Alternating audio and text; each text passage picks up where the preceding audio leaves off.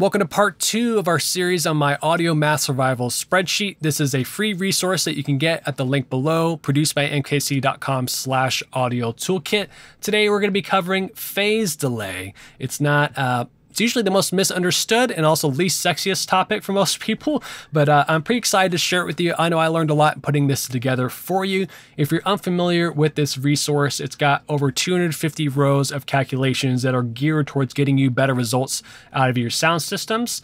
I believe there's a whole lot of artistic decisions you can make uh, with your mix, but a lot with the system can be done just by understanding how physics and math work and, and putting that to work for you in the field so you can get better sounding systems. Anyway, in part one, we've covered frequency, period, and some of the decibel stuff. Today, we're covering phase delay, and there's definitely more to come. Let's jump right in. When I first started, phase felt really intimidating to me. I knew it was something I needed to dive in and understand, but really had a hard time wrapping my brain around it. I've had to come at it from a lot of different angles to really understand what's going on. And even in the process of making the slides for today's presentation, I learned something. So it's, it's always unfolding. It's something I'm understanding more and more every time I look at it. And I hope that understanding phase and how it relates to phase delay will help you in your audio journey as you put these pieces together to get better at sound system design and alignment alignment. So here's my favorite one sentence description of phase, just so we can be on the same page here. Then we'll jump into phase delay. So phase describes where a certain frequency is in its cycle in degrees. And this is from Michael Lawrence out of his book. Make sure and grab it. It's between the lines, concepts, and sound system design and alignment. Um, I've read it a bunch, cover to cover, and come back and reference it. It's really well done. Please make sure and check that out. You can go to his website, precisionaudioservices.com slash book and get a copy. It's been awesome, fantastic resource. So anyway, that's his one sentence definition of phase. So if we know anything about audio, it is alternating variations in voltage or air pressure, right? So it's going back and forth. It's cyclical. So we know phase describes cycles and how we measure that is in degrees. So phase compares where it's at in its cycle to its starting point, zero degrees. That's our, our, our, our ground zero, literally. And then there's 360 degrees in a full phase cycle. Let's have a visual reference for this now. So the relation of the actual waveform, which is getting drawn here on the right to where it's at in its cycle is really, really cool. This is a graphic made by Jack Schaedler. He has a wonderful free resource that, that he's made that talks about digital sampling theorem, and I stole this graphic for him. So this, this is really awesome. So we start here now at zero degrees. We're moving through now we're to 90, coming around to 180, down to 270, and then we're going to come back to zero. And you saw as time moves to the right, we see the amplitude or the level of the wave move. So we can see that it takes a while to complete one full cycle, and then it basically makes a copy itself again. So it just completes again, around and around it goes. So phase just describes if we were to take a snapshot here and be like, hey, wait, stop. We start at zero. Okay, it hasn't really gone very far has to travel one full wavelength to go all the way around, then now stop at 90 degrees. And now we've just gone a quarter wavelength. So it's, hey, like at whatever frequency this is, let's just call it maybe 100 hertz, right? We said, hey, it's going to vibrate 100 times per second, but if we stopped it a quarter of the way through its cycle, that'd be the same thing as saying, hey, we stopped it 90 degrees of the way through of its cycle. And we could keep moving. 180 degrees is the same thing as it moving a half wavelength or going halfway through its cycle.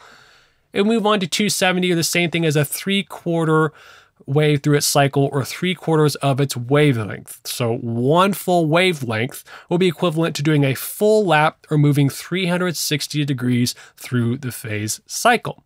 So that's a little bit on phase. Now, what in the world is phase delay? So delay, if you are delayed to an event or it starts late, that's a timing thing, right? So we're going to see how phase relates to time.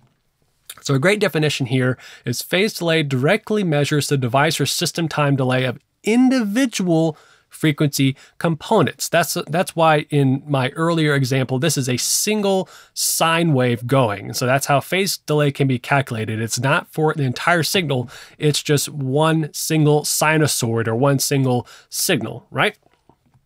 So put two other ways, like what questions does this help us answer is what is timing relationship of frequency x to our reference. So a reference can either be the starting point, so zero degrees, or we could actually be doing a transfer function in a software like Smaart and be comparing it to the original signal. Uh, and basically we're saying, hey, whatever processing is happening in between our input and output, show us the difference in phase from whatever processing is happening.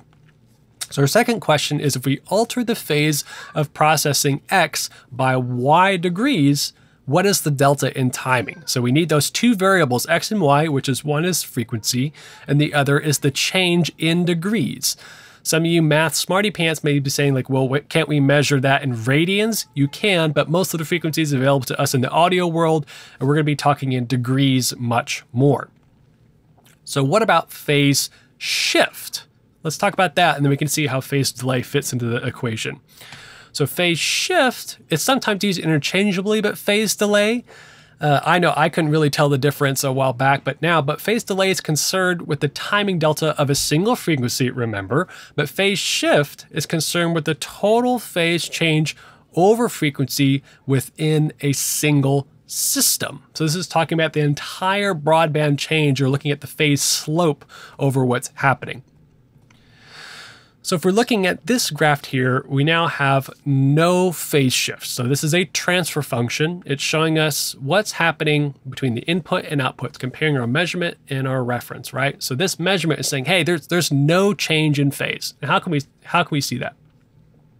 So on our x-axis here, we have frequencies. So this is the entire audible frequency spectrum here. We've got here from 20 hertz all the way up to 20 or close to uh, 20K or close to it. And here we have our degrees. So here it goes zero up to 180 and then zero, now moving negative, and then it would wrap around again. So right now we have no phase shift. And now if we inserted a high pass filter at 100 hertz, here's what is what would happen to the phase. The frequency response would be going here, and then about 100, we'd start sloping down. But that's not what we're looking at. We're not looking at the magnitude response, rather. We're not looking at that. We're looking at the phase response, the changing in timing over frequency. So this graph here is now showing me the total phase shift over frequencies. So there's really no change at all up here in the high frequencies. But since I put the high pass filter way down here at 100 hertz, this is where we're seeing most of the change. So we're seeing a positive phase shift, so it's up towards the lower frequencies are now being shifted in their phase cycle. So this is the high pass filter at 100 hertz. So now let's answer the question, what is the timing offset at 100 hertz due to that high pass filter's phase shift? That is the, that is answering the phase delay question. So we're answering what is the phase delay at 100 hertz now with this processing in line? Another way to ask it is what is the time offset at 100 hertz? So if we triangulate that now, I have down at the bottom 100 hertz and the arrows going up to the graph. And then I can now look, well, that corresponds here on the side with 90 degrees. So I now have found that 100 hertz is 90 degrees offset from where it originally was.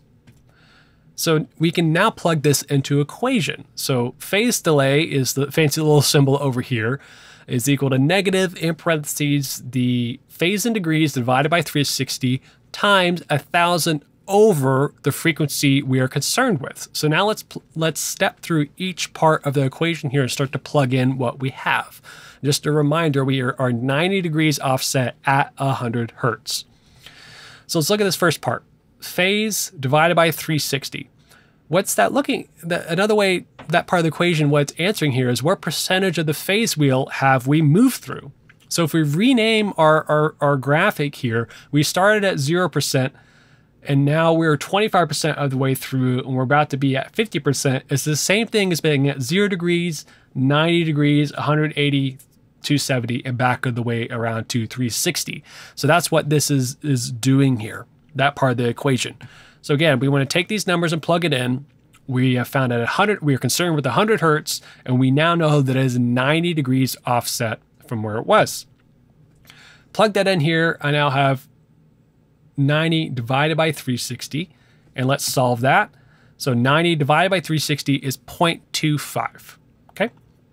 And that's the same thing as going a quarter cycle. Again, 25% of the way through, 25% is also the same as the fraction one fourth, right? You see how this is related to each other. Now that we have that there, let's continue solve the equation. So we've plugged in 0.25. So now let's insert our frequency 100 hertz into our equation.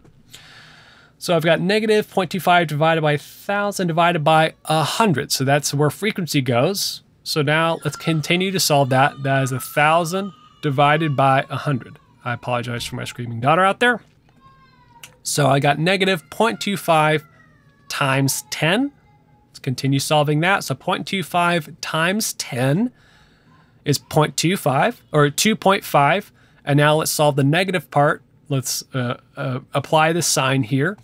And now we have negative 2.5 milliseconds of phase delay at 100 hertz. So 90 degrees of phase shift at 100 hertz is equal to 2.5 milliseconds of phase delay. So you would get the same result if you went to that row in my spreadsheet and plugged it in. So 90 degrees at 100 hertz is negative 2.5 milliseconds. We may be asking what what in the world is negative delay? Does that mean that the signal is ahead? That's something we can jump into later in an electronics course or something like that. But just trust me, that that is what the, the equation is right. That's the answer you should get. What I think is interesting here is you can get the same delay time and the same output, but with different frequency and phase shift. So what if I was 180 degrees offset at 200 hertz? I still get the same amount of phase delay. All I did was double the amount of phase shift and double the frequency, and it is proportional, which is pretty cool. So what? All right, how how what is what's the takeaway from all this? Uh, this part of the spreadsheet is not one that I honestly use a whole often in the field of like, oh, I'm running into the specific situ situation. Let me calculate the phase delay.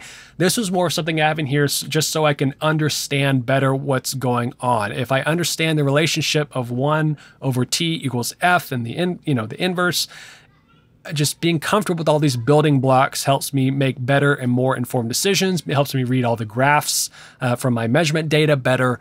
So I, I wish I could say here's like the super, super practical takeaway, but all I can say is getting more comfortable with phase and its relationship to frequency and wavelength will only better your understanding of the practical things. So that's it. Here's our recap. Phase delay helps figure out the timing offset of a given frequency to a fixed reference. And what do you have to know? You got to know the frequency you care about and its amount of phase shift at that frequency. You can plug it into this formula or use my spreadsheet and get great results. All right, thanks for hanging out today. That was part two of my Audio Math Survival spreadsheet series. You can get it at the link below. Hope this has helped you. Uh, I'm going to be having more of these roll out. They'll, they'll roll through each of these. Excited to share with you. My name is Michael Curtis. Hope to get you great results out of your sound systems, and I will catch you next time.